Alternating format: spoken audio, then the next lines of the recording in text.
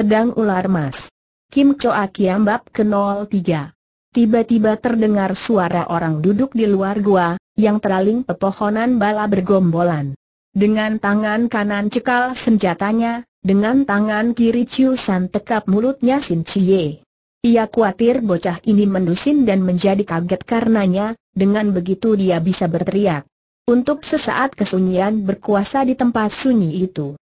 Lalu tiba-tiba, pemberontak Siwan itu ada tinggalkan satu anak Ke mana perginya bocah itu demikian satu suara yang keras. Benar-benar Sin Cie tersadar karena suara itu, tapi Chiu San telah siap, ia bisa cegah bocah ini buka mulutnya. Diam, dia kisiki. Kau mau omong atau tidak kembali terdengar suara keras tadi? Itulah satu pertanyaan bengis. Jikalau tetap kau tutup mulut, lebih dahulu aku akan bacok kutung sebelah kakimu jikalau kau hendak bacok, Bacoklah terdengar satu suara lain, ialah suaranya orang yang diancam itu. Selama di perbatasan, dengan tumbak dan golok, aku biasa hajar bangsa Tartar, mustahil aku dijeri terhadapmu, Dorna itulah suaranya Eng Siong. Sin Chie terkejut. Eng Siongku, kata ia, tapi suaranya pelahan. Eh, apa benar kau tidak mau bicara teguran diulangi? Cis terdengar suaranya Eng Siong, yang ludahi orang yang ancam dia. Aduh, jeritan itu menyusuli suatu suara keras, rupanya benar-benar kakinya Eng Siong dibacok kutung. Tak bisa Sin Chie bersabar lagi, ia berontak dari cekalannya San Eng Siok ia menjerit sambil ia loncat keluar gua. Maka ia bisa lihat, antara cahaya api, seorang yang bersenjatakan golok, lagi ayunkan senjatanya ke arah tanah di mana ada seorang menggeletak. Ia berlompat, ia menyerang dengan ilmu pukulan Chok Yeo Kim, atau kiri menyerang, kanan menangkap, salah satu jurus dari Hok Hao Uchiang.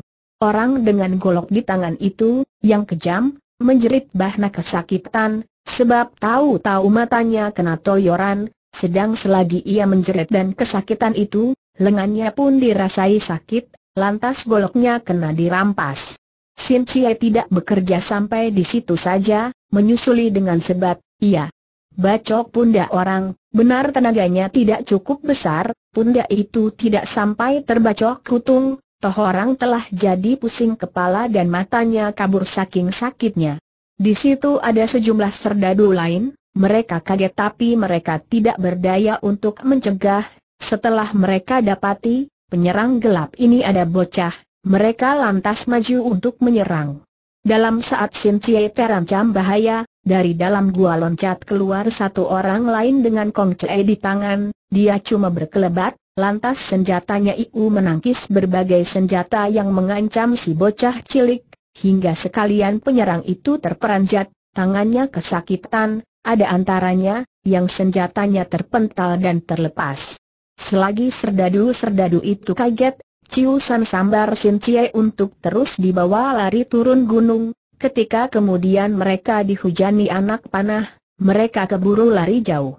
Di antara serdadu-serdadu itu, yang atas titahnya Taikam Choho Asan, ada empat yang pandai silat, kapan mereka ini tampak ciusan mereka segera lompat mengejar, satu antaranya malah keluarkan tiga batang panah tangan, sebab terdapat kenyataan, Walaupun sedang kempit orang, Ciusan bisa berlari-lari dan berlompatan dengan keras.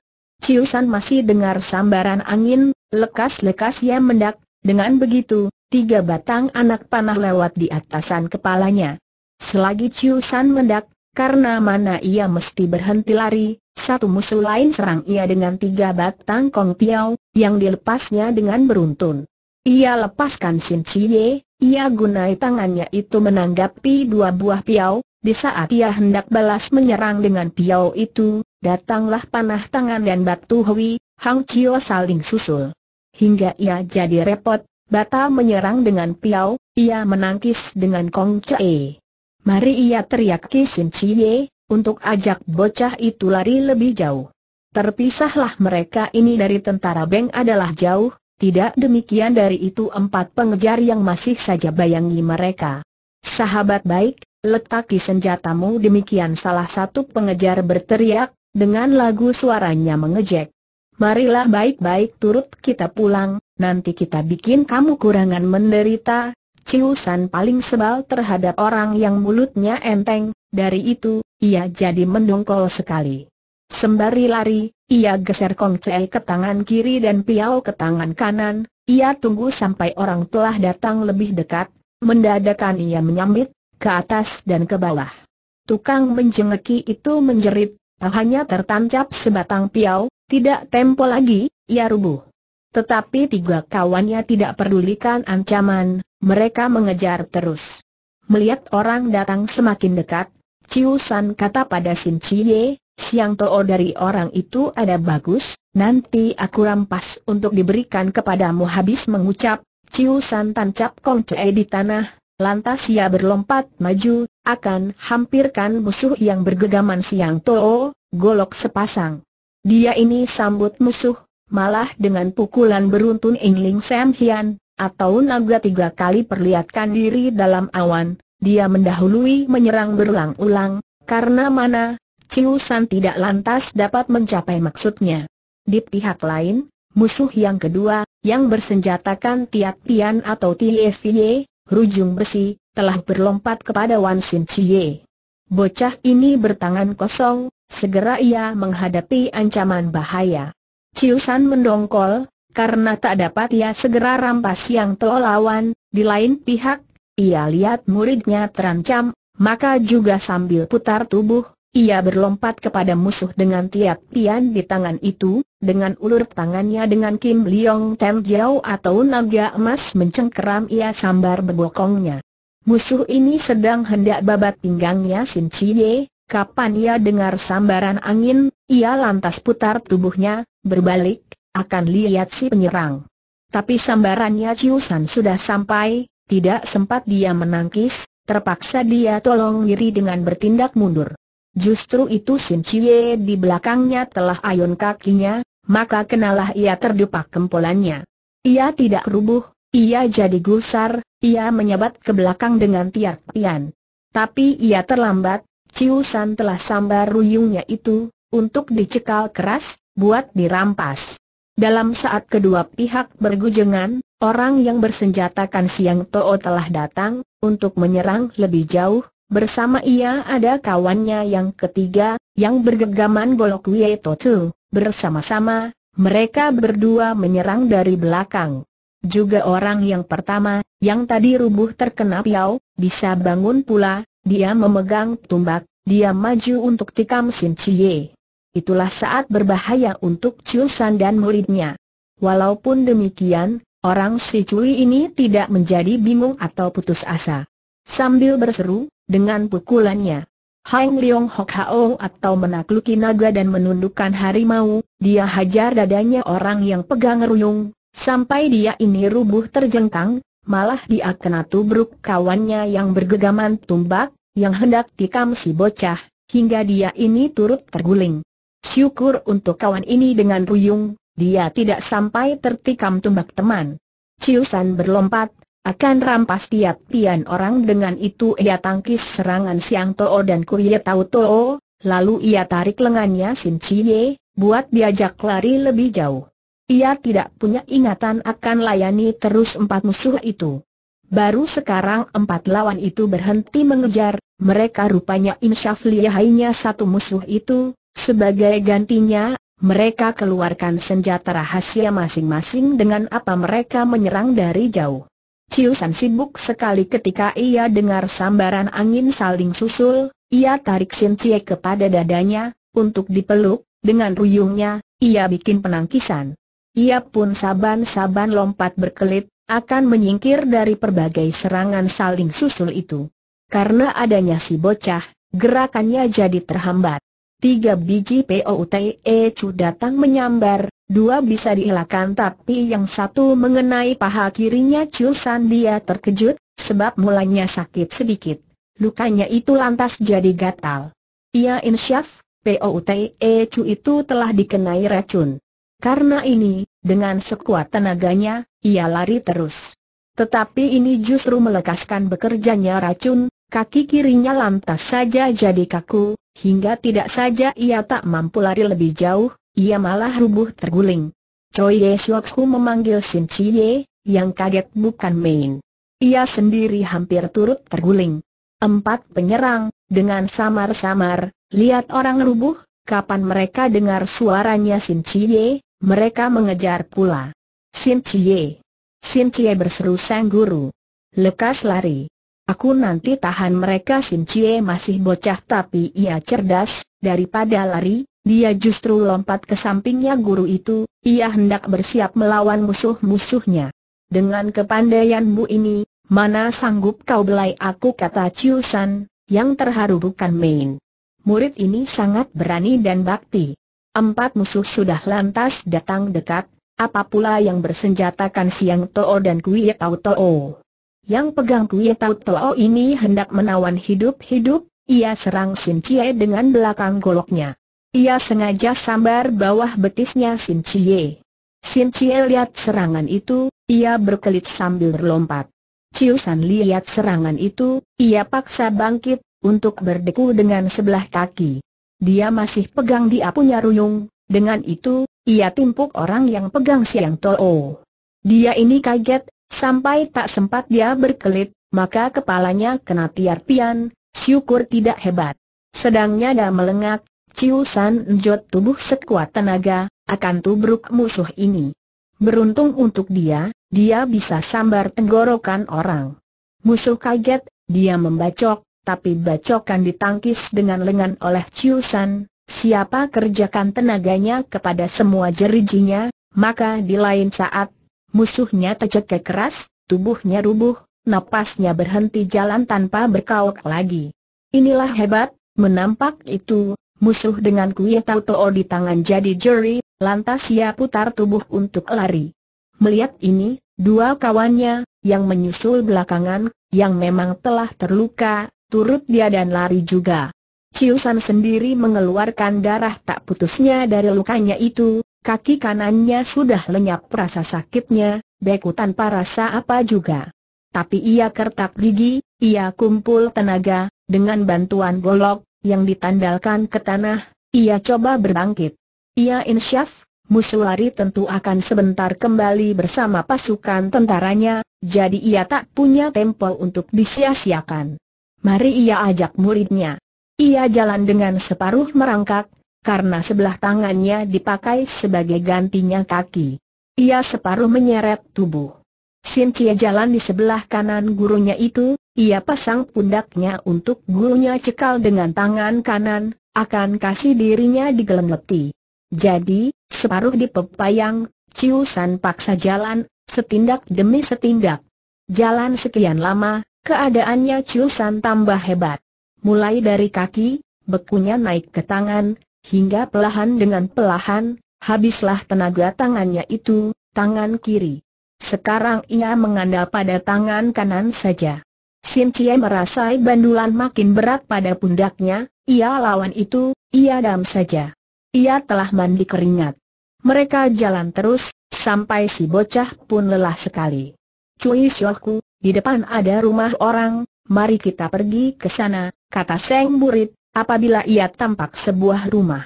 Kita beristirahat di sana sambil lompatkan diri, Ciusan manggut, ia paksa kumpul tenaganya. Adalah setelah sampai di depan pintu, tenaganya habis, terlepaslah. Sekelannya, hingga ia rubuh tanpa muridnya dapat mencegah. Cui Siok Hu Sin Cie menjerit, sambil ia lekas membungkuk. Cui Siok Hu hampir itu waktu, daun pintu rumah terpentang, seorang perempuan usia pertengahan muncul di ambang pintu. Toanio, berkata Sin Cie, kami bertemu tentara negeri, pamanku ini terluka, tolong kau izinkan kami menumpang bermalam, satu malam saja, perempuan tani itu murah hati, ia manggut, lalu ia teriaki satu anak tanggung, umur delapan atau sembilan belas tahun, untuk bantui si bocah angkat tubuhnya Ciusan, buat diangkat ke dalam, direbahkan atas kong. Karena ia ada tangguh dan kuat semangatnya, walaupun kaki dan tangannya beku sebelah, Ciusan tidak pingsan atau kalut pikirannya, sebaliknya, ia sadar benar-benar. Ia lantas suruh Sin Cie geser pelita, untuk ia periksa lukanya. Kaget semua orang, akan tampak luka di kaki itu. Sebab kaki kiri itu bengkak besar, yang sepotong sudah matang biru, dilihatnya mengerikan. Tolong bungkus luka di pundakku, Ciu San minta si tuan rumah muda. Kemudian, ia minta dibungkus keras juga pahanya, guna cegah racun naik dan menyerang ke jantungnya. Habis itu, ia cabut senjata yang melukai padanya. Segera keluar darah hitam. Ciu San coba tunduk, ia niat isap darah dari lukanya, supaya racunnya tersedot, tapi bengkaknya demikian besar, mulutnya tak dapat sampaikan luka itu. Melihat demikian, tanpa bersuara apa-apa, Sin Cie gantikan gurunya sedot darah itu, ia menyedot berulang 96. Ulang, saban-saban ia muntahkan darah hitam itu. Setelah menyedot kira 40 kali, baru ia kena hisap darah bersemu merah. Akhir-akhirnya jago itu menghela napas. Syukur ini bukannya racun yang sangat berbahaya, kata ia. Sin Cie, lekas kau ke kumur nyonya rumah, yang mengawasi sedari tadi, lalu berdoa. Besoknya, Lohor, Chuan rumah muda, yang dimintai pertolongannya, pulang dengan laporan bahwa tentara negeri sudah mundur dari Gunung Loyasan di satu pihak, kabar itu melegakan hati. Akan tetapi, di lain pihak, keadaannya Cui Chiu San menguatirkan sekali. Bengkaknya mulai kempes, tapi di sebelah itu, tubuhnya menjadi panas, dia mulai mengacau belo. Sin Cie ada satu bocah, Walaupun ia cerdik, ia toh bingung, ia tidak bisa berbuat suatu apa. Chuan kecil, berkata nyonya rumah, aku lihat racun dalam kakinya pamanmu ini belum habis semua, perlu kau pergi ke kota kepada tabib guna periksa lukanya itu, Sin Cie anggap usul itu baik. Aku nanti pergi, kata ia. Nyonya rumah, yang baik hati, pergi pinjam gerobak kerbau dari tetangganya, dengan naik itu, Sin Chie pergi dengan diantar si anak tanggung. Ciu San direbahkan di atas gerobak. Anak tanggung itu mengantari sampai di kota, sampai Sin Chie telah dapati sebuah rumah penginapan, lantas ia berangkat pulang. Sekarang, setelah berada di kota, Sin Chie kembali bingung. Mereka tidak punya uang. Ia mengong mengawasi saja gurunya, hingga ketika Jongos tanya, ia hendak dahar apa, ia tidak dapat menyahuti. Aku tidak lapar, kemudian ia kasih alasan. Tapi, seperginya si Jongos, ia nangis seorang diri. Selama itu, Ciu San rebah tak ingat dirinya, adalah sesudah lewat sekian lama, ia mendusin juga. Bagaimana, Siok Hu Sin Cie tanya. Apa Siok Hu merasa baikan guru itu manggut? Apakah kau ada bawa barang berharga apa-apa tanya dia kemudian. Tiba-tiba Sin Cie ingat suatu apa, lantas dia menjadi girang. Ada ini kata ia, yang terus keluarkan sarungnya. Itu ada kalung emas tertabur delapan buah batu permata, dan di rantainya ada ukiran beberapa huruf, kapan ciusan baka itu, bunyinya ada empat huruf Hui Koan Hoan Ciang yang berarti kejayaan makmur.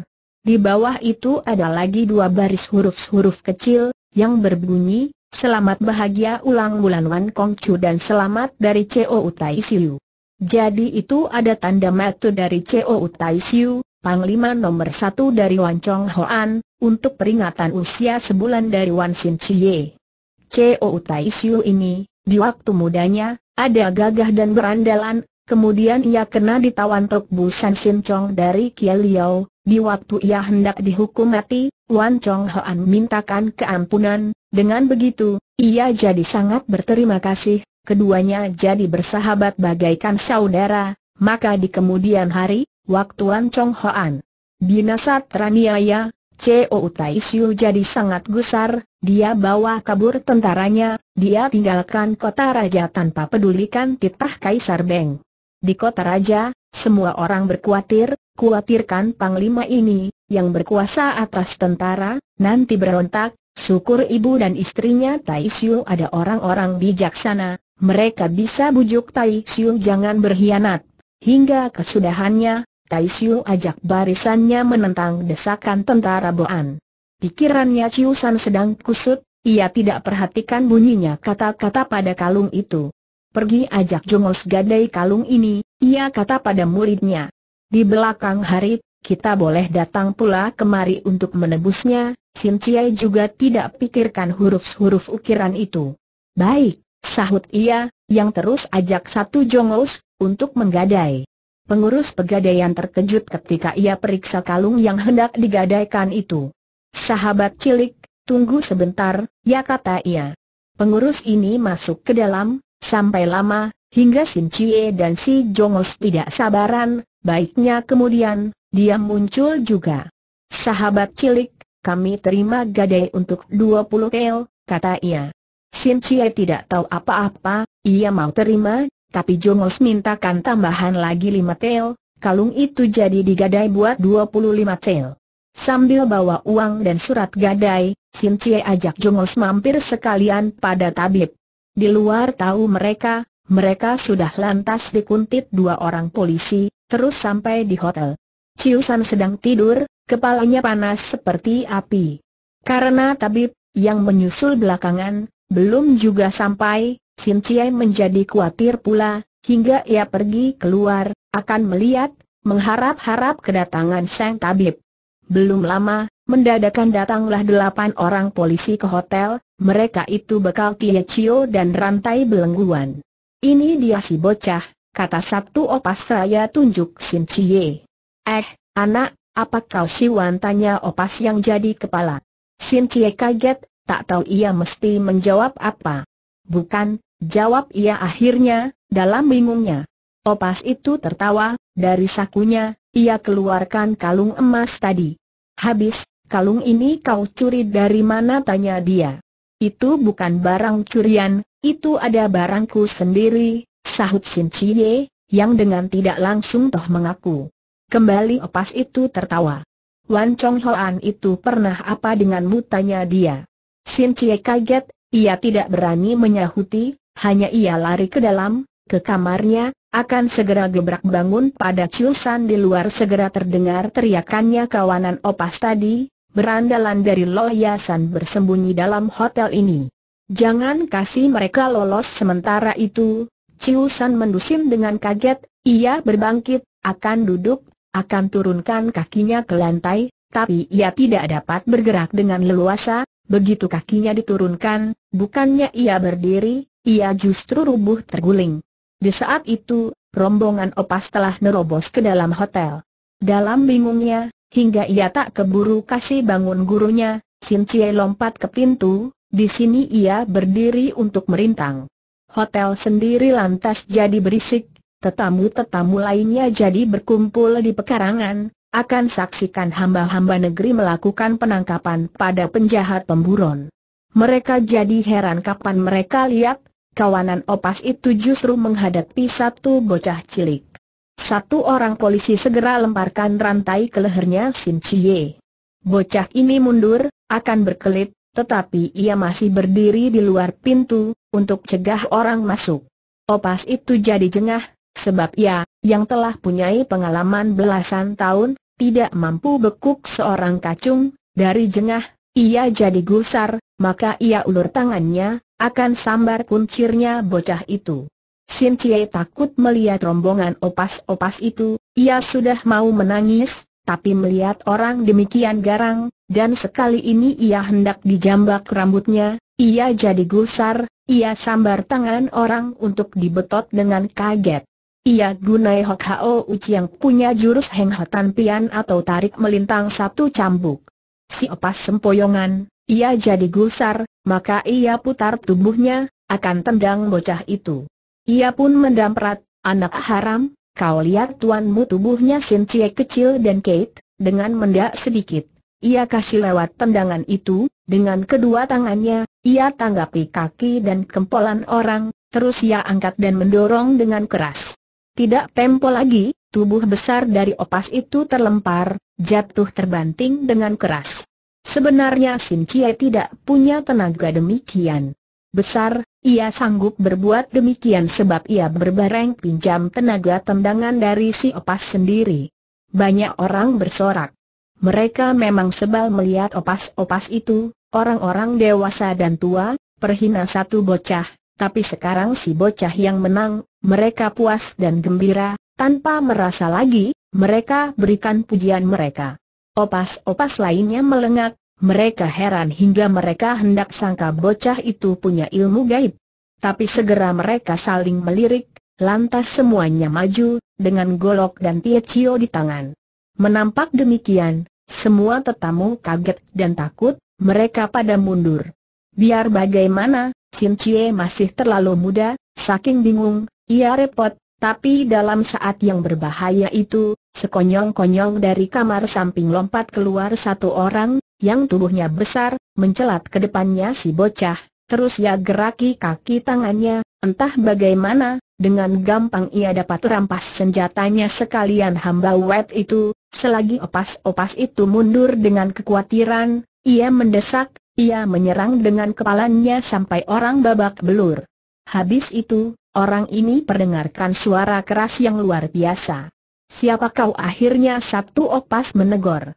Kami hendak tangkap orang jahat, lekas mundur seperti juga orang yang tidak dengar pertanyaan, tubuhnya orang itu melesat ke depan opas ini, tahu-tahu tangannya sudah menjamret dada, apabila ia mengangkat, tubuh si opas dilemparkan, hingga tubuh itu melayang, bagaikan lajangan melewati tembok, ketika dia rubuh, dia terbanting keras, dia pingsan.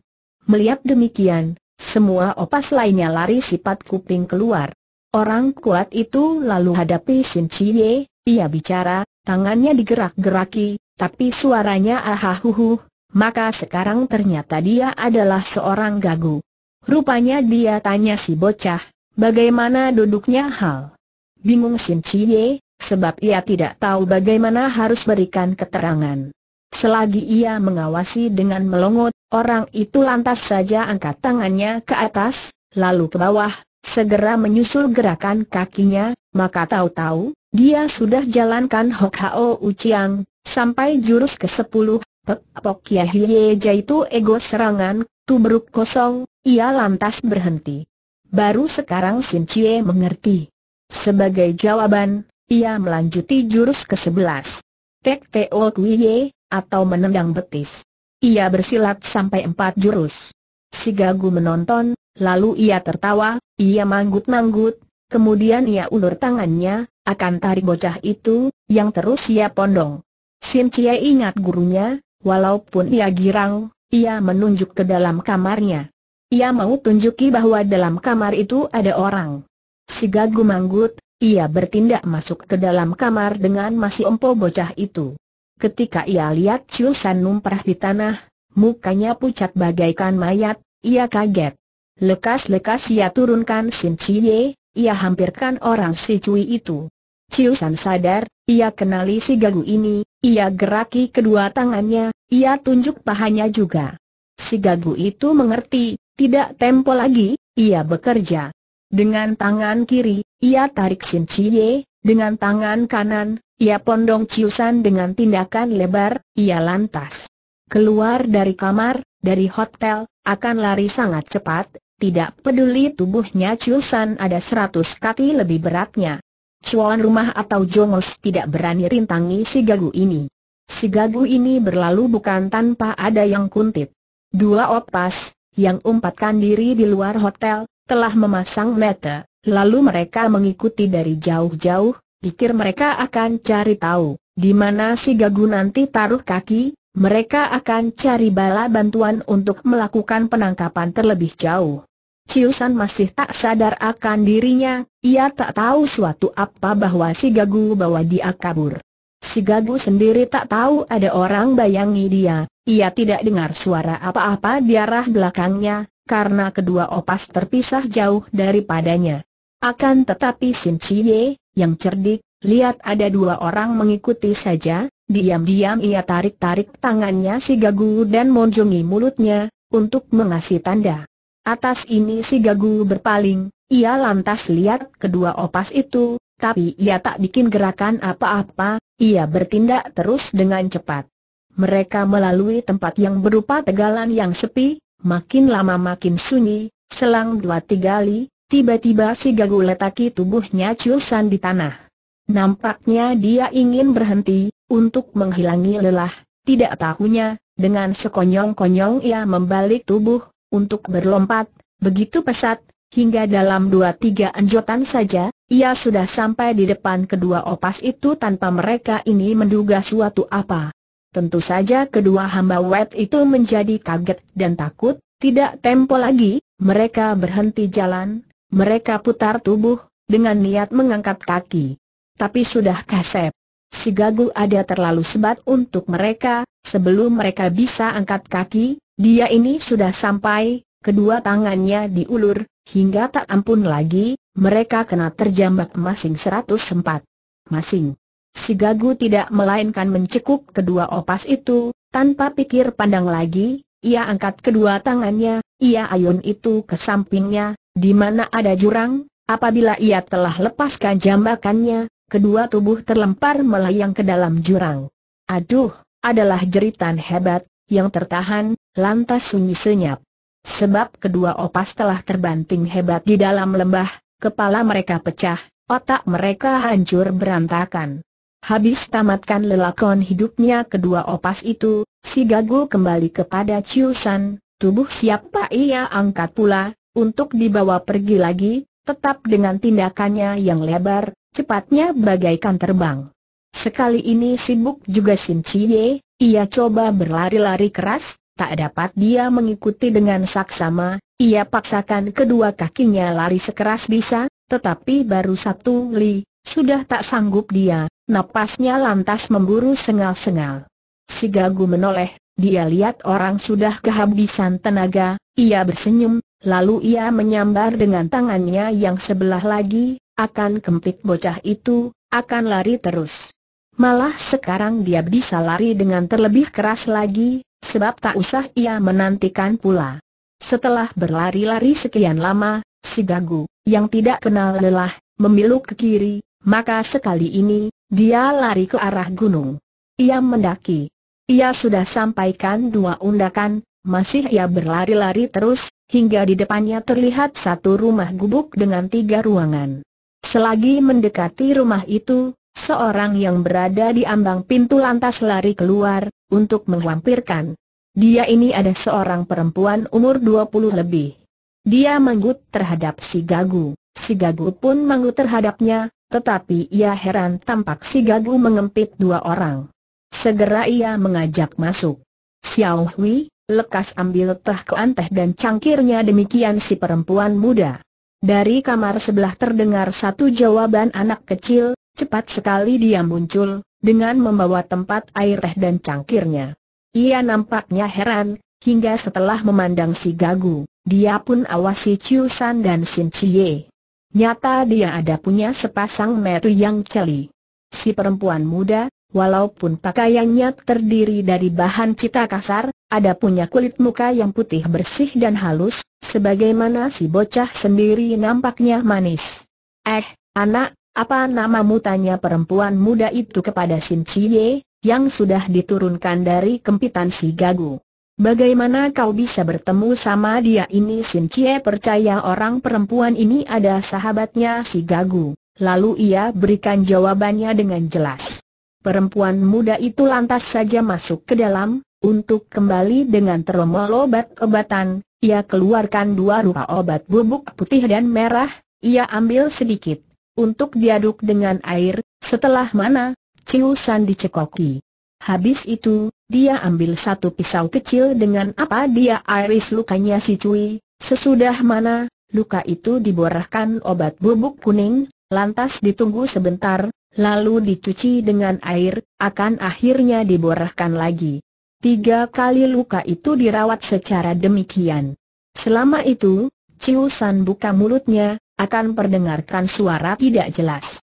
Dia ketolongan kata si perempuan muda kepada Sin Chie, ia bicara sambil tersenyum. Lantas ia gerak-geraki tangannya terhadap si Gagu, maksudnya supaya si Gagu ini pondong orang yang luka ke dalam, untuk antap dia beristirahat. Selagi si Gagu memondong ke dalam, perempuan itu benahkan teromol obatnya. Aku ada orang Sian, panggillah aku Encim An, kata dia pada Sin Chie. Ini ada anakku, namanya Xiao Hui. Sekarang tinggallah kau sama kami di sini, Sin Chie manggut. Anto Anilo lalu masuk ke belakang, untuk membuat mie, malah ia pun sembelih ayam, guna santapan kedua tetamunya. Sin Chie dahar lebih dahulu, habis itu, saking lelah dan ngantuk, dia tidur dengan kepala diletaki di atas meja. Dia tak ingin apa-apa lagi. Besoknya pagi, baru saja orang bangun, Xiao Hui sudah tarik tangannya Sin Chie. Mari cuci muka kata si nona cilik. Aku hendak lihat dulu cui sioku, bagaimana lukanya, kata si bocah. Empeh Gagu telah bawa dia pergi sejak pagi, Xiao Hui kasih tahu. Sin Chie terperanjat. Dibawa pergi? Apa benar tanya dia, hatinya mencelos. Nona itu manggut.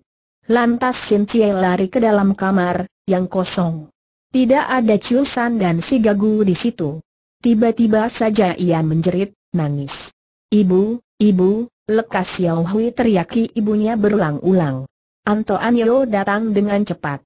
Ibu, dia lihat mencek Cui semua pergi, dia menangis, si anak memberitahukan.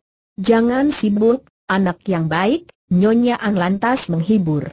Pamanmu terluka, lukanya parah, bukan Sin Chie manggut. Aku cuma bisa berikan dia pertolongan pertama, nyonya itu terangkan.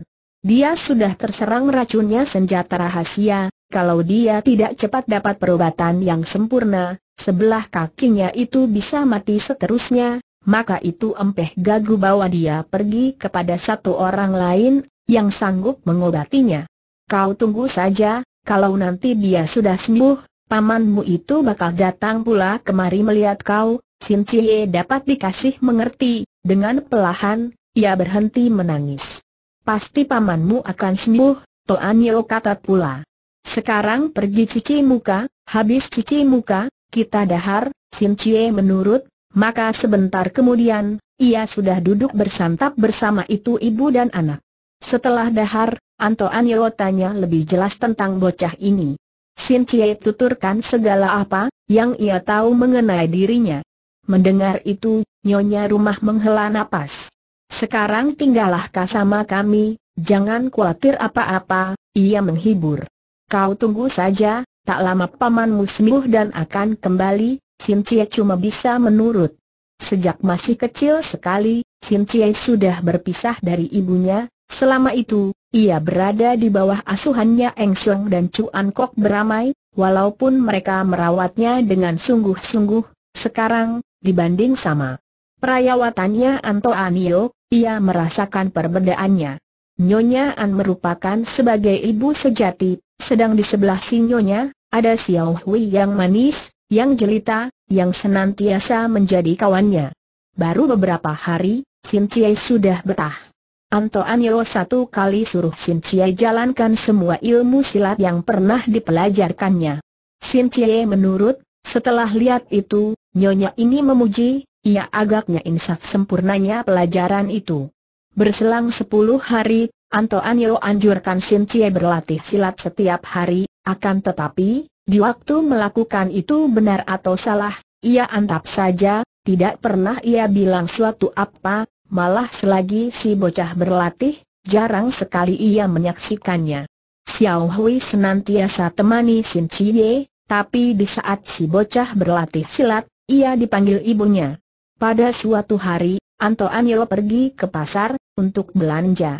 Ia pun niat beli cita, guna bikinkan baju dan celana untuk Sin Chie, pakaian siapa sudah korat-karit, pecah di sana sini bekas dipakai buron dari loyasan kamu memain di dalam rumah saja, jangan keluar, nanti ada serigala, pesan sinyonya ketika ia hendak pergi.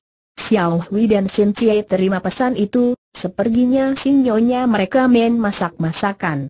Xiao Hui keluarkan mangkok dan sumpit kecil. Kau potong ayam di sini, aku hendak beli daging, kata si nona cilik.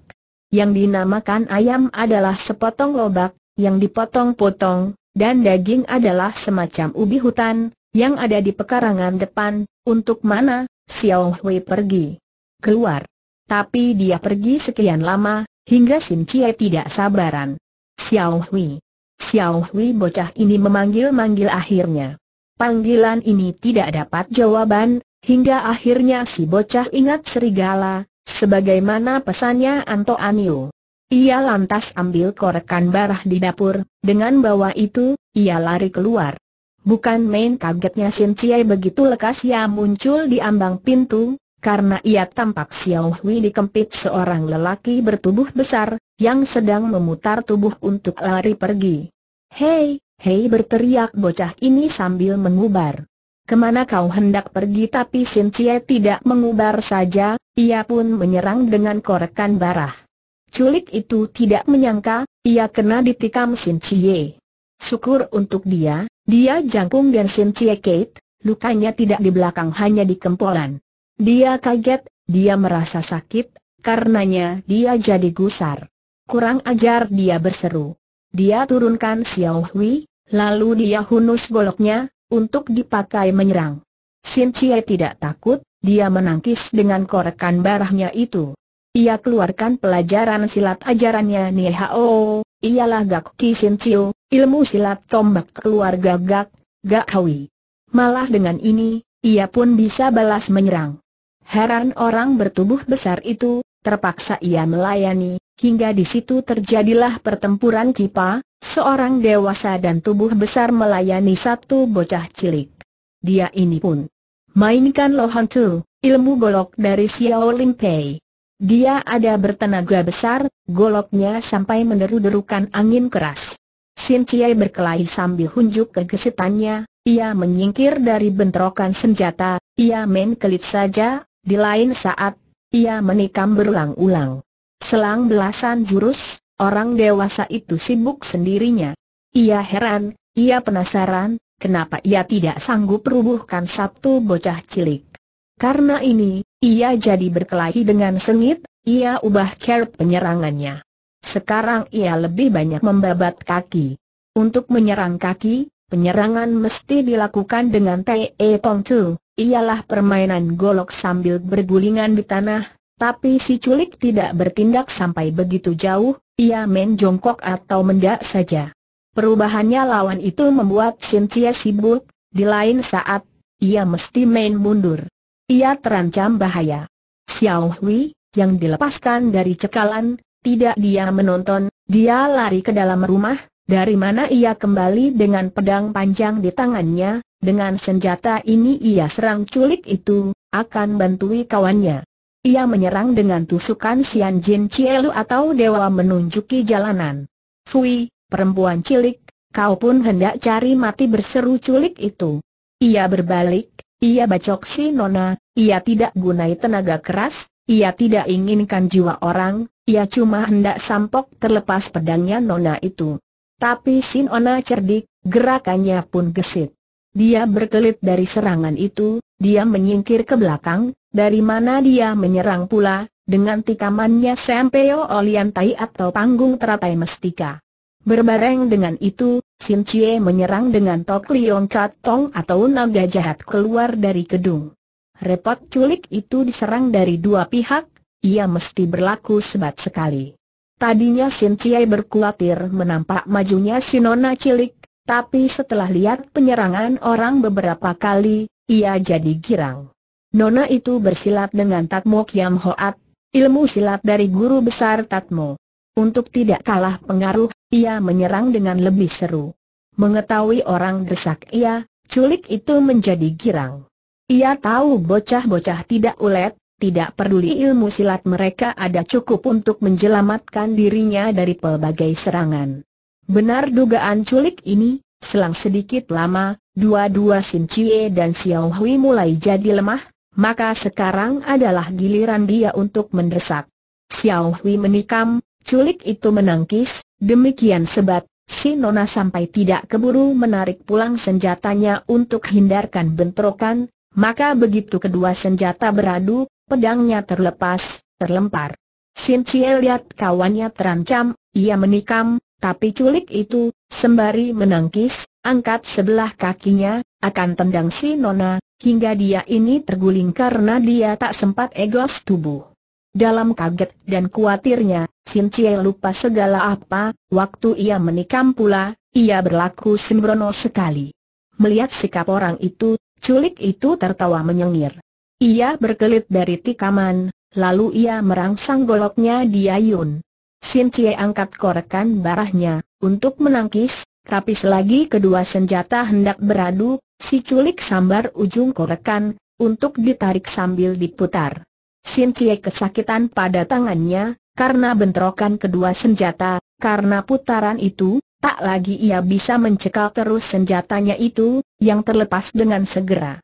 Melihat orang telah tidak berdaya, culik itu lemparkan korekan barah, ia loncat pada Xiao Hui, tubuh siapa ia sambar, untuk dikempit, buat lantas dibawa lari. Walaupun dia sedang kesakitan, melihat Xiao Hui kena dibawa lari, Sin Chie lupai sakitnya itu. Ia jemput korekan barahnya, ia lari, akan mengejar.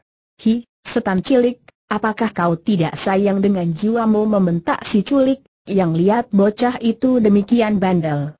Ia kempit Xiao Hui dengan tangan kiri, dengan tangan kanan cekal goloknya, ia balik tubuh, akan layani pula bocah itu. Setelah bertempur lima enam jurus, Sin Cie kena terbacok pada pundaknya, sia-sia ia berkelit, bajunya robek, pundaknya terkena sedikit, hingga darahnya mengucur keluar. Setan cilik, apa kau masih berani mengejek culik itu? Sin Chiai benar-benar besar nyalinya. Lepaskan Xiao Hui, aku tidak akan susul pula padamu ia jawab sambil ia menahan sakit. Ia jemput korekannya, kembali ia mengejar musuh, yang sudah lantas kabur pula. Akhirnya culik itu habis sabar. Jikalau aku tidak bunuh dia, dia terang bakal ganggu aku, pikir dia. Maka ia berhenti lari, ia sambut serangannya Sin Chie.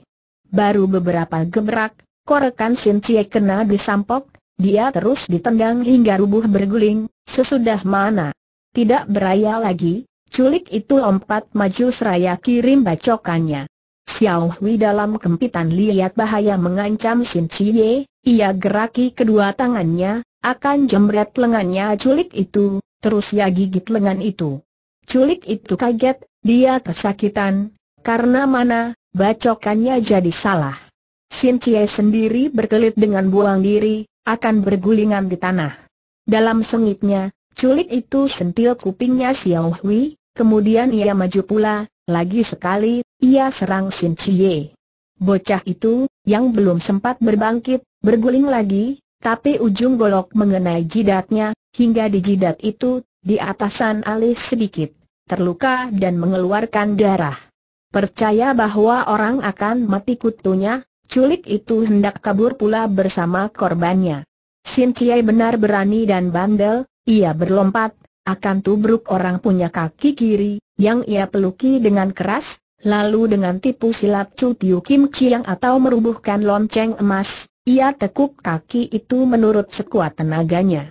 Sengit culik itu, walaupun ia tidak rubuh, ia toh merasakan sakit pada kaki kirinya itu, maka ia angkat kaki kanannya, untuk injak si bocah, atas mana, Sin Chie terpental terguling. Ia lantas maju pula seraja membacok. Belum sampai golok turun, atau culik itu terkejut dan merasakan sakit pada kepalanya, karena betok kepalanya menerbitkan satu suara membeletuk, apabila ia menoleh, ia tampak Anto Anilo sedang ayun kedua tangannya. Ia jadi juri, ia tinggalkan Sin Chie, lantas ia lari. Tapi Xiao Hui ia kempit terus. Anto Anilo ayun tangan kanannya beruntun tiga kali, tiga butir telur menyambar culik itu, dia bisa kelit dua serangan tapi yang ketiga mengenai batang hidungnya, hingga di sebelah merasa sakit, mukanya mandi putih dan merah telur. Masih nyonyaan menimpuk dengan sebutir telur yang lain, yang kali ini mengenai mata kiri si culik, hingga dia gelagapan. Walaupun hanya telur, toh timpukan ini ada cukup keras. Dalam gusarnya, culik ini lepaskan Xiao Hui, dengan tangan kirinya, ia usap mukanya, kemudian ia maju, akan serang sinyonya. Anto Anyo tidak bersenjata, ia melayani sambil senantiasa berkelit. Sin Chie sudah bangun, ia telah pungut korekan barahnya, dengan tidak pedulikan lukanya, ia maju, akan serang culik itu, guna bantu nyonya penolongnya. Ia jadi tambah semangat, berulang-ulang ia menikam dengan ilmu tumbaknya Gak Hawi. Karena didesak Sin Chie, Culik itu tak bisa desak Anto Anyo seperti bermula, hingga nyonya ini dapat sedikit waktu senggang, sebab mana, ia jadi ingat cita yang baru saja ia beli untuk Sin Chie. Segera ia keluarkan cita itu dari dalam rantangnya, terus ia lempar ke kali kecil di dekatnya untuk dibasahkan. Ia pun gunai kesempatan menjumpu tiga buah batu, yang dipakai menimpuk, hingga culik itu jadi repot juga, karena mana, Sin Cie tidak sampai kena terlalu terdesak. Selagi si culik terpaksa mundur, Anto Anyo sudah angkat citanya, untuk dibuka hingga mirip dengan angkin atau sabuk, lalu ia maju lagi, akan dekati orang itu. Ong Lo Sam berseru nyonya ini. Selagi aku tidak ada di rumah, kau datang menyatroni, kau perhina segala bocah cilik. Adakah kah satu laki-laki teguran itu ditutup berbareng dengan serangan dengan sepotong cita itu, yang digunakan sebagai John Pian atau cambuk lemas. Setelah basah, cita itu dapat digunakan bagaikan toya juga. Culik itu, yang dipanggil Lo Sem, nampaknya sibuk. Ia tendang rubuh pada Sin Chie, lantas ia layani sungguh-sungguh pada si Nyonya. Anto Anyo sedang gusar, ia berkelahi dengan hebat, setelah mendesak, dua kali berhasil ia menyerang dengan toya atau cambuknya yang istimewa itu. Ong Lo Sam tidak sampai terluka, tetapi ia merasakan sakit pada bebokongnya, yang kena terpukul. Karena ini, gerakannya jadi lambat sendirinya. Masih Anto Anyo mendesak, akan akhirnya, ia dapat libat golok lawan, maka lantas saja ia menarik dengan kaget dan keras. Ong Lo Sam terkejut, tak dapat ia mencekal keras, goloknya terlepas dan terbetot oleh sinyonya, tapi ia tertawa dingin. Ia telah lompat dua tindak, lalu ia kata sambil bersenyum iblis, aku adalah orang yang terima pesan dari suamimu. Selama alusku belum buyar, maka ada satu hari yang aku nanti cari pula padamu alisnya sinyonya berdiri, ia sahuti ancaman itu dengan sabatan cambuk istimewanya. Lo Sam telah bersedia agaknya, sebelum serangan sampai, ia sudah putar tubuh dan lari, lari turun gunung dengan lekas. Melihat orang angkat kaki, Anto Anyo tidak mengejar, hanya ia balik, untuk lekas-lekas lihat Xiao Hui dan Xin Chie. Xiao Hui tidak terluka, dia melainkan kaget, ia tubruk ibunya lantas ia menangis. Dasar bocah cilik. Xin Chie berlumuran darah, ia diajak pulang untuk lantas dipetali darahnya, sesudah bersih, lukanya diobati, dibungkus dengan rapi. Dia peroleh dua luka, syukur tidak berbahaya, benar ia keluarkan banyak darah tetapi itu tidak sampai membahayakan jiwanya. Ia dipondong, untuk direbahkan di pembaringan. Sampai di situ, Xiao Hui cerita pada ibunya bagaimana, selagi keluar sebentar, ia ketemu Ou Lo Sem, yang terus tawan ia, buat dibawa lari, bagaimana Sim Chie pergoki mereka, lantas bocah itu lawan Lo Sem, untuk tolongi padanya. Aku tidak sangka, begini muda usianya, dia berhati mulia, dia gagah sekali, berkata Anto Anio. Tak dapat kita berayal pula, aku mesti tolong ia supaya jadi seorang sempurna, kemudian nyonya ini lanjuti pada putrinya. Kau pun pergi tidur, Sebentar malam kita berangkat, Xiao Hui tidak heran atas kata-kata ibunya itu, ia lantas beristirahat. Anto Anyo lantas berkemas, ia siapkan dua buntalan, kemudian ia tunggu datangnya Seng sore. Habis bersantap, bertiga mereka duduk menghadapi pelita. Nyonya ini tidak kunci pintu, ia tidak jari. Benar kira-kira jam 2, di luar terdengar tindakan kaki, yang terus masuk ke dalam itulah si Gagu, yang telah kembali. Ia bertubuh besar dan keren tapi tindakannya enteng, suatu bukti bahwa kepandaian entengi tubuhnya telah sempurna. Anto Anyo menyambut sambil berbangkit, ia bicara sama si Gagu itu dengan mainkan kedua belah tangannya. Dengan mainkan juga mulutnya. Si Gagu rupanya mengerti, dia manggut-manggut. Mana Cui Suak Husin Cie tanya. Apa dia baik dia baik, Kau jangan khawatir, Anto Anyo menghibur. Mari, aku hendak omong sama kau, nyonya itu masuk ke dalam kamar di mana ia duduk atas pembaringan. Sin Chie mengikuti, Sinyonya lantas tarik tangannya. Sin Cie katanya dengan manis budi, begitu lihat kau, aku suka padamu, dari itu, aku pandang kau sebagai anak sendiri. Tadi kau telah berkorban untuk Xiao Hui, itulah budimu yang aku tidak nanti lupakan. Malam ini kami hendak pergi ke suatu tempat jauh, maka itu, pergilah kau ikut Empeh Gagu. Tidak, aku ingin ikut kau bersama, kata Sin Cie. Aku pun tidak tega berpisah dari kau, terangkan Antonio.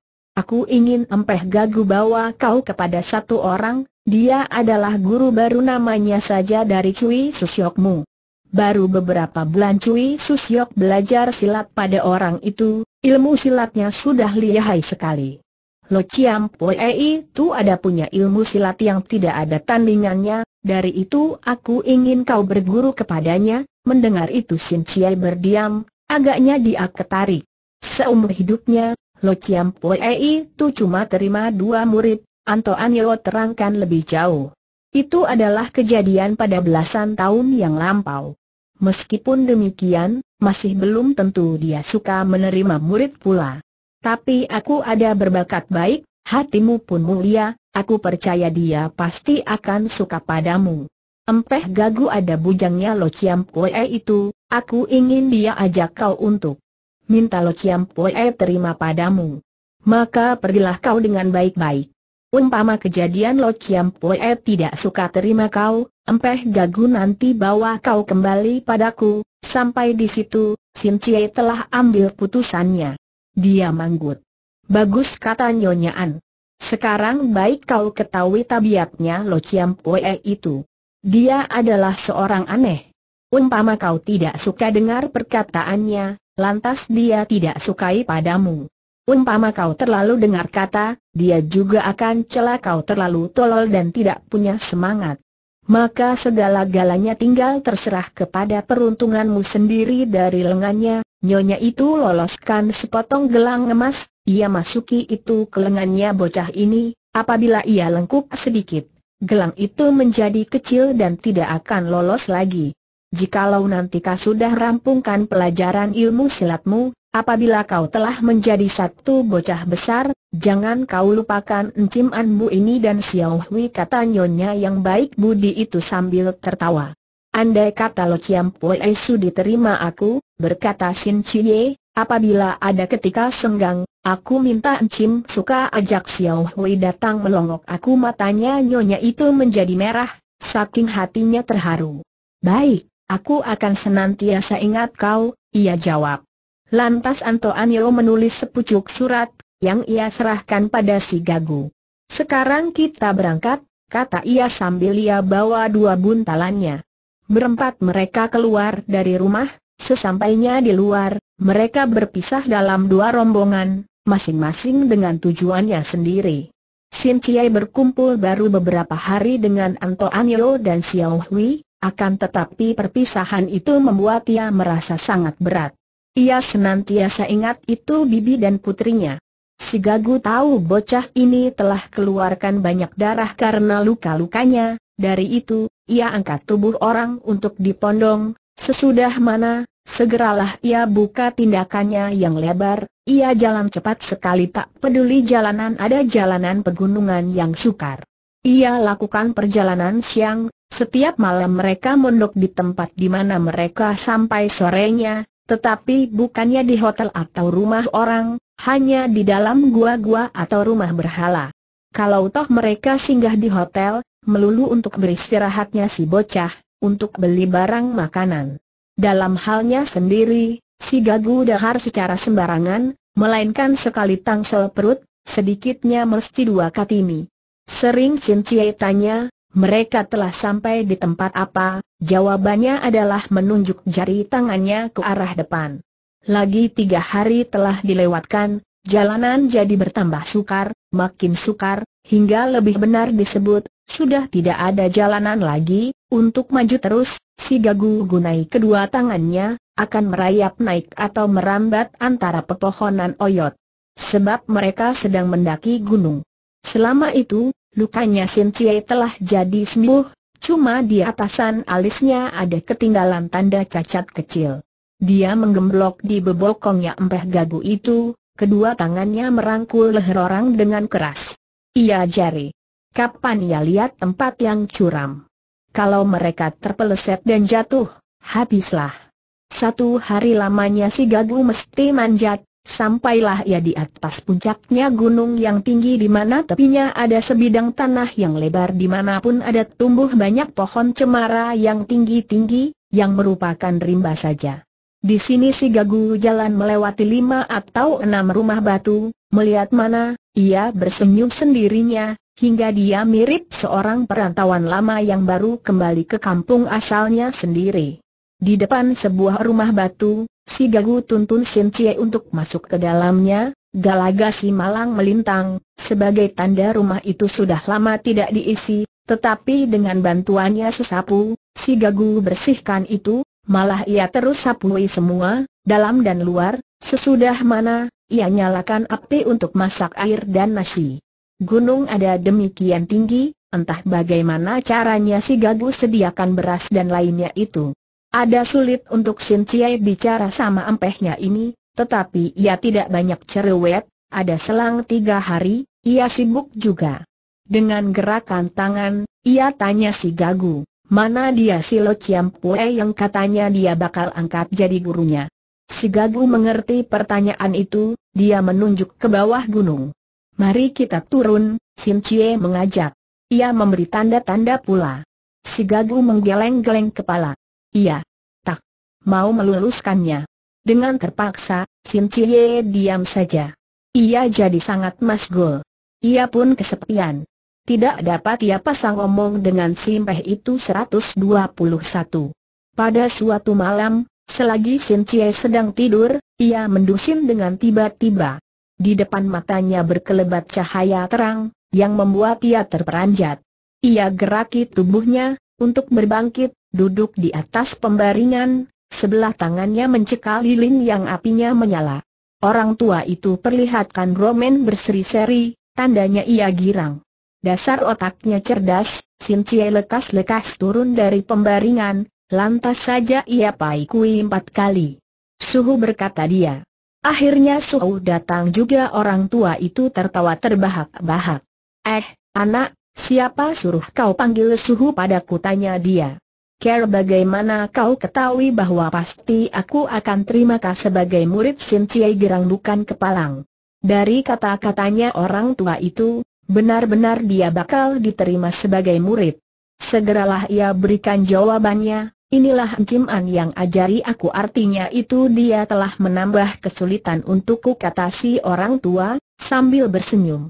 Baiklah, Memandang kepada mendiang ayahmu, aku terima kau sebagai murid lantas saja Sin Cie hendak pai kue pula, tetapi si orang tua cegah.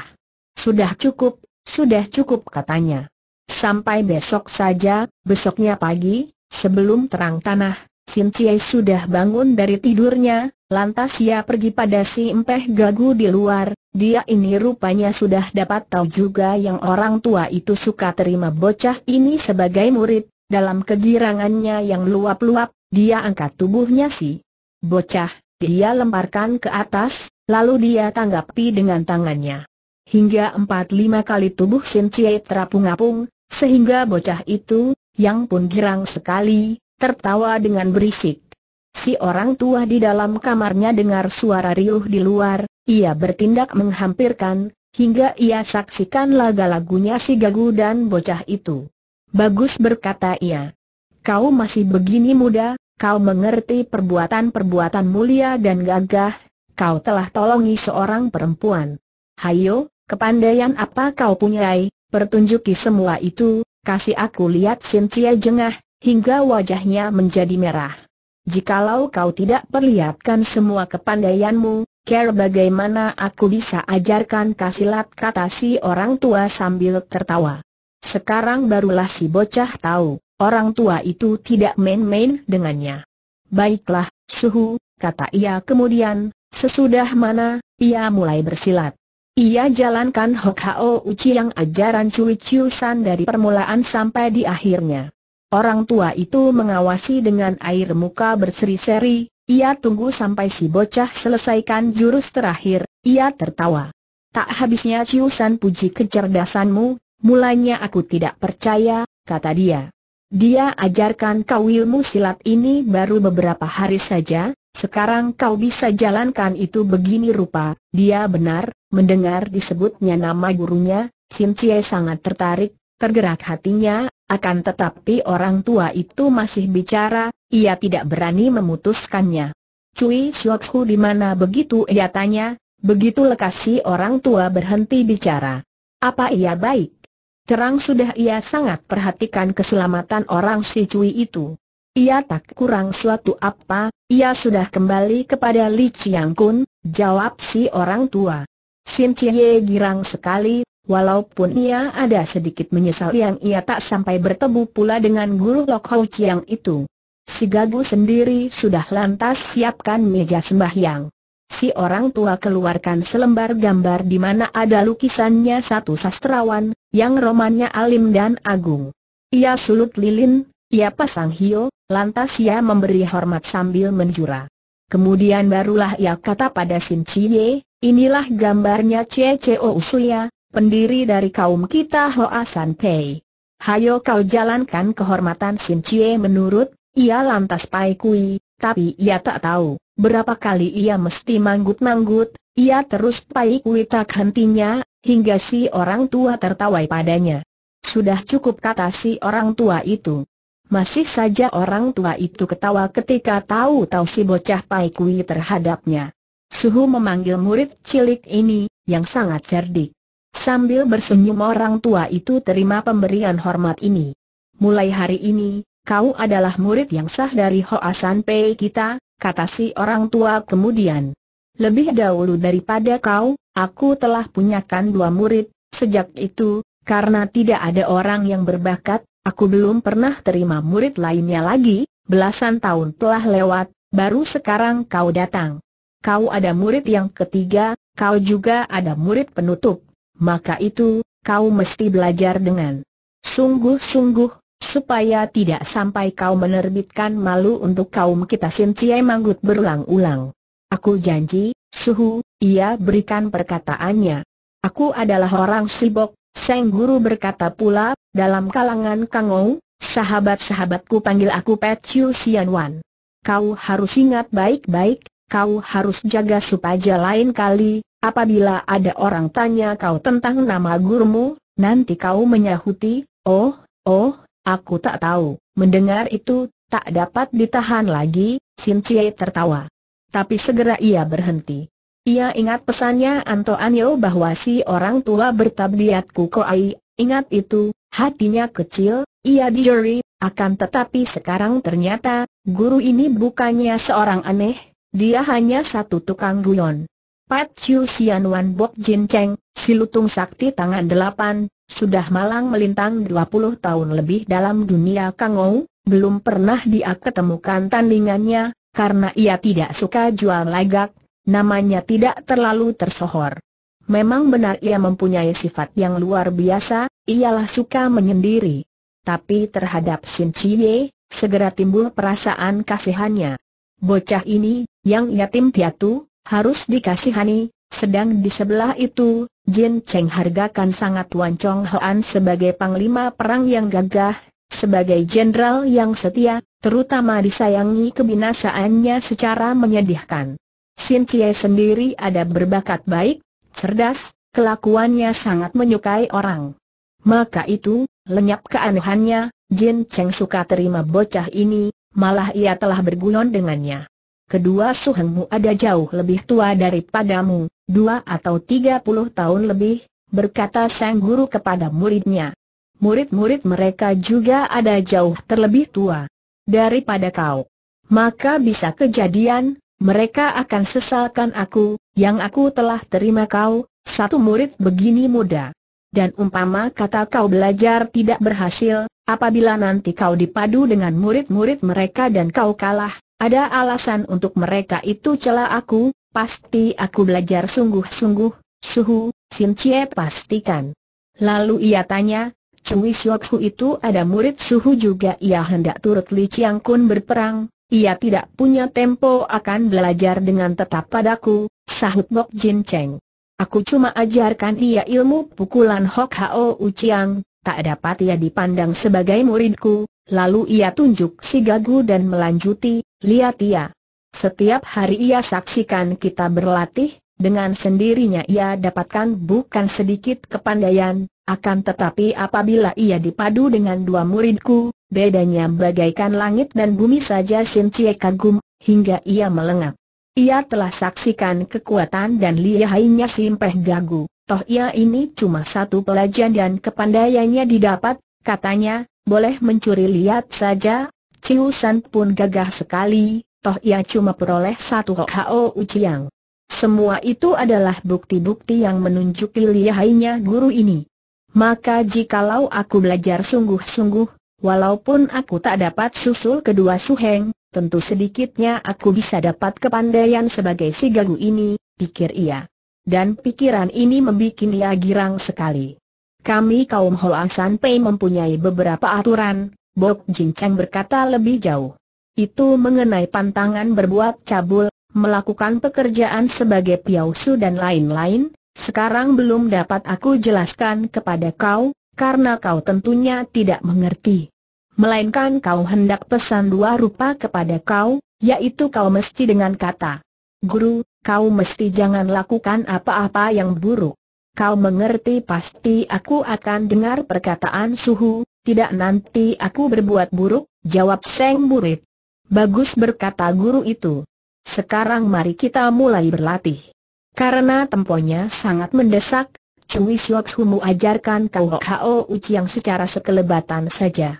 Sebenarnya, ilmu pukulan itu mempunyai kefadahan yang utama, usiamu masih terlalu muda, apabila kau terus yakinkan itu, kau tak akan dapatkan kesempurnaan. Maka sekarang aku nanti mulai kau dengan tiang kun sip Toan Kim, dulu pernah Nie Siok ajarkan aku pukulan itu, Sin Chie terangkan. Ya, tetapi itu belum berarti kata sang guru. Apa kau rasakah sudah pandai guna itu? kau keliru jauh. Jikalau kau telah sempurnakan tiang kun sip tok an kim, di dalam kalangan kangou, tentulah tak banyak orang lagi yang sanggup kalahkan padamu, Sin Chiai melengak pula. Ya, ya, suhu, kata ia, yang tak berani banyak omong lagi. Sekarang kau lihat, habis itu, kau turuti, kata sang guru. Bok Jin Cheng lantas jalankan tiang kun sip tok an kim, muridnya mengawasi. Sin Chie heran, ilmu silat yang guru ini jalankan, semua mirip dengan yang ia peroleh dari Hoo. Ia jadi tidak mengerti, apakah kefadahannya ilmu pukulan itu. Sedang bocah ini berpikir keras, Sang guru tegur padanya. Apakah kasangka gurumu perdayakan mau? Tanya Bok Jin Cheng. Mari, mari, kau coba serang aku, asal kau bisa jamret saja baju atau langgar ujung bajuku, Anggaplah kau benar sudah pandai bocah itu tidak berani serang gurunya, ia cuma bersenyum saja, tak bergerak ia dari tempatnya berdiri. Hayo maju, aku sedang ajarkan kau ilmu silat guru itu mendesak. Mendengar bahwa ia hendak diberi pelajaran, Sin Cie lantas maju, dengan satu lompatan, ia sambar baju gurunya, yang memakai tungsha, baju panjang. Ia rasa ia bakal berhasil menjemret, tidak tahunya, baru ia hampir mengenai atau ujung baju itu seperti mundur sendirinya. Ia maju pula, atau lantas, ia kehilangan gurunya itu. Aku di sini kata si guru sambil tertawa, dengan tangannya ia tekan pundak orang. Ia ada di belakang si murid. Sin Chiai berdiam, tetapi dia geraki tubuhnya dengan gerakan aucuhan sin atau burung elang jumpalitan. Ia bergerak dengan gesit sekali, kedua tangannya dipentang, untuk merangkul. Tapi ia merangkul tempat kosong, ia tak lihat gurunya. Apabila ia berpaling, ia tampak gurunya itu berdiri dari dia jauhnya kira-kira tiga tumbak. Aku mesti bisa jambak padamu pikirnya, yang jadi sangat penasaran. Ia lompat pula, secara sangat gesit, tangannya diulur. Tangan bajunya Bok Jincang dikibaskan, tubuhnya ikut mencelat, dengan begitu, ia hindarkan dari terkaman, hingga kembali Seng Burit tangkap angin. Sin Chie tidak jadi putus asa, dia malah tidak mendongkol, sebaliknya, ia tertawa hai hai hai, menandakan kegembiraannya. Ia mengejar, ia memiluk ke mana si guru putar tubuh. Tiba-tiba ia lihat si gagu gerak-gerakan tangannya sebagai tanda untuknya. Diam-diam ia menaruh perhatian, mendadakan hatinya tergerak. Benar-benar suhu gunakan tiang kunsip Tok An Kim, ia memikir. Kenapa suhu ada begini gesit ia masih mengubar terus, tapi sekarang dengan perhatikan gerak-gerik gurunya itu. Ia sudah paham benar sekali semua gerakannya. Ia terus menaruh perhatian, akan setelah itu, ia pun menelat gerakan gurunya, hingga lantaslah terlihat, dia pun jadi gesit beberapa lipat. Bok Jin Cheng senantiasa awasi Seng murid, diam-diam dia manggut-manggut. Anak ini benar-benar bisa terima pelajaran, pikir dia. Sin Chie perhebat pengejarannya, karena ia bisa bergerak terlebih sebat pula, akan tetapi di depan dia, gurunya pun bertambah-tambah gesit, hingga sia-sia saja pengejarannya. Hingga berdua mereka seperti merupakan bajangan saja.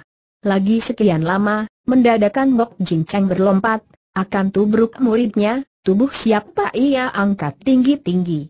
Murid yang baik, Anak yang manis berkata dia sambil tertawa berkakakan. Suhu kata Seng murid, yang girang luar biasa, karena sekarang ia insaf kemujijatan tiang kun Sip Tok An Kim. Bagus, anak, sebegini sudah cukup untuk latihanmu kata Sang Guru.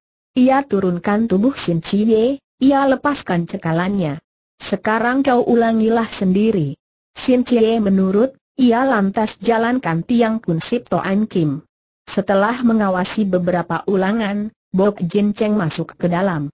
Sin Chie tidak turut gurunya beristirahat, ia masih berlatih terus, sampai belasan kali, hingga ia tambah mengerti kefadahannya ilmu silat itu, yang berpokok pada kegesitan. Ia ada demikian kegirangan, hingga malam itu tak dapat ia tidur dengan nyenyak, terus ia bayangi itu ilmu pukulan, sampai mimpi pun ia masih berlatih. Besoknya pagi, Baru saja Fajar, bocah ini sudah bangun, untuk berlatih, karena ia khawatir pengajarannya kemarin nanti terlupa. Ia belajar seorang diri, dengan sungguh-sungguh. Berselang belum lama, selagi bocah ini sangat bersemangat, ia dengar suara batuk-batuk di belakangnya, apabila ia berpaling, ia lihat gurunya. Bok Jin Cheng berada di belakang muridnya, sambil tertawa. Suhu ia memanggil, terus ia berdiri diam, kedua tangannya dikasih turun. Kau telah mengerti dengan cepat, inilah bagus, berkata sang guru. Tapi kau baru mengerti bagian atas, bagian bawahnya belum, di bagian bawah, kau masih kosong, apabila kau hadapi lawan lihai, kau bakal celaka. Kau mesti bersikap begini, guru itu lantas mengasih contoh. Sekarang hayo kau turut. Sin Chie menelat gurunya, ia mengerti dengan cepat, setelah mana, terus ia yakinkan ini ajaran baru, hingga ia kembali dapat tambah pengertian.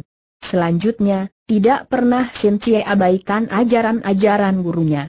Seng Tempo lewat dengan cepat, selang tiga tahun, bocah ini telah masuk usia 12 tahun. Ia berlatih dari kecil, sekarang tubuhnya jadi kuat sekali, pasek dan gesit. Seperti biasanya, Bok Jin Cheng suka turun gunung, untuk pesiar, kalau ia pergi, ia pergi untuk dua atau tiga bulan.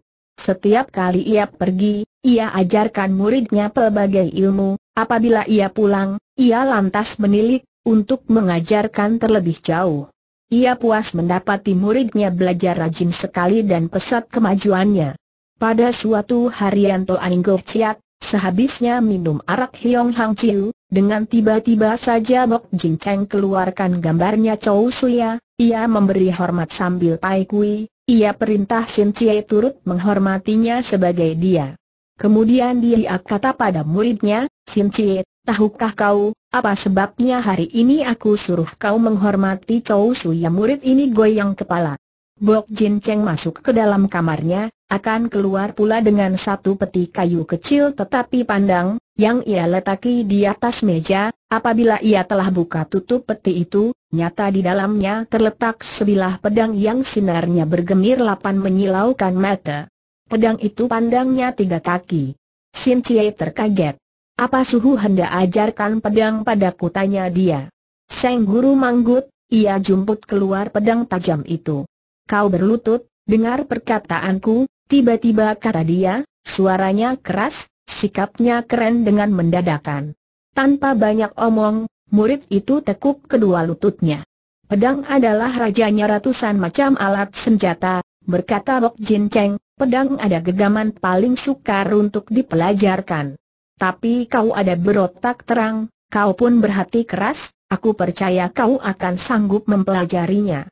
Ilmu pedang kaum kita, Hoa San Pei, yang diwariskan berulang-ulang, mengandal kepada si ahli waris, tetapi buktinya sampai sebegitu jauh, senantiasa tambah saja kemajuannya.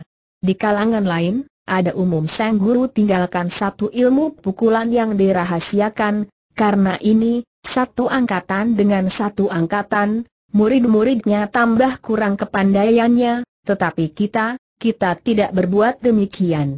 Benar kita memilih murid dengan keras, tetapi setelah dipilih, kita berikan dia semua pelajaran, malah di bagian ilmu pedang, setiap ahli waris menambah kepandaiannya. Ilmu pedang kita sulit untuk dipelajarkan, hanya setekah mengerti, orang akan insaf itu dengan sempurna, dan asal orang bisa wariskan, dia sudah seperti tidak ada tandingannya. Sekarang aku hendak ajarkan kau ilmu pedang tapi kau mesti sumpah dahulu bahwa kau tidak nanti bunuh sekalipun satu orang yang tidak bersalah dosa Sin Cia jawab gurunya itu, ia kata, ini hari suhu ajarkan teotsu ilmu pedang, apabila di belakang hari aku binasakan seorang yang tidak bersalah, maka pasti aku pun bakal binasa terbunuh orang bagus. Hayo bangun Sin Ciai berbangkit, untuk berdiri. Aku tahu kau berhati mulia, tidak nanti kau bunuh orang tanpa alasan, kata guru ini, akan tetapi saat ada berlainan, ada saatnya untuk silat membedakan kebenaran dari kepalsuan, inilah yang harus dijaga. Asal kau senantiasa berpokok pada kejujuran dan belas kasihan, aku percaya tidak nanti kau membunuh secara keliru. Maka hal ini mesti kau ingat baik-baik, Sin Cie manggut, ia beri pula janjinya. Sekarang kau lihat, berkata sang guru akhirnya. Ia cekal pedang dengan tangan kanan, tangan kirinya diletaki di atas itu, habis itu ia mulai bersilat, hingga sinar pedang memain, menyambar bagaikan naga dan ular, cahayanya seperti biang lala.